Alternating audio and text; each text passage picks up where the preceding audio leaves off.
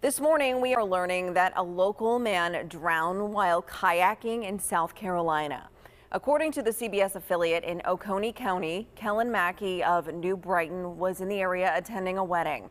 The 26 year old and two other men went kayaking late Friday night in Lake Hartwell.